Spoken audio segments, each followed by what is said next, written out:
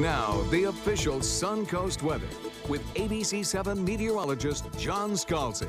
So we're looking at an air temperature that's coming in around the 80 degree mark thanks to a high dew point value of 75. The temperatures are going to fluctuate a little bit today, on and off, depending uh, on whether or not we see uh, showers moving through that are cool things off for a time. And then as we uh, and get those showers out of here. Things will heat up a little bit and then cool off again. That, that's going to be kind of the roller coaster I think that we take. Generally speaking, our temperatures held down by the cloud cover that's going to be around. And the showery activity that I expect to see today. Today will probably be the wettest day of the next two or three days. We'll start to transition as we head into midweek into a more typical summertime pattern.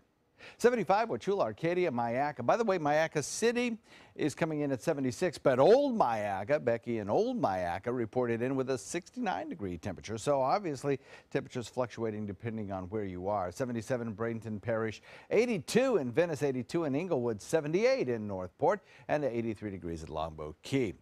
We have uh, a big area of disturbed weather just sitting very close to us in the Gulf. And I'll tell you what, if things had worked out a little bit differently, we could have seen some places in the Big Bend region that picked up over the course of the last two days and the next two days, perhaps as much as 15 to 20 inches of rainfall, putting it in line with a tropical storm kind of downpour.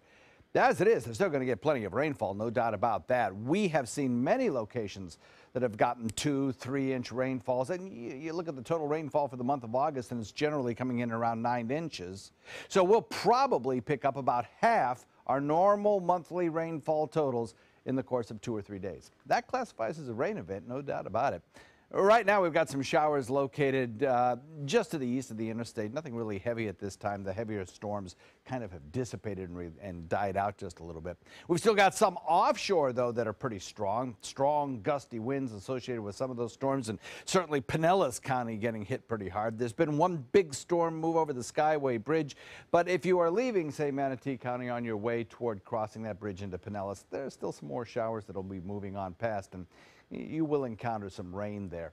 Locally, well, we got some more showers offshore, and those will be rotating across our region throughout the mid-morning and afternoon hours, bringing us about a 70% chance of rainfall today, the wettest day of the week, no doubt.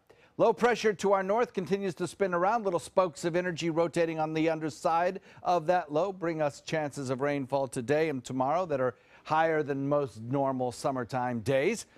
Eventually, that low is going to retrograde back to the west, open up, and kind of die out, returning us to our more typical summertime pattern. So, a wet start to the work week, breezy, cloudy, with waves of rainfall through the day here and there. Not everybody will get rain, but a lot of us will. And then we'll wait for that midweek transition back into more typical summertime pattern. Forecast for boaters today, southwest wind at about 15 knots, but you've got rip current issues, and of course, you'll be dodging thunderstorms out in the Gulf, some with gusty winds, two to four foot seas, a moderate chop. Obviously, not a great day for boating.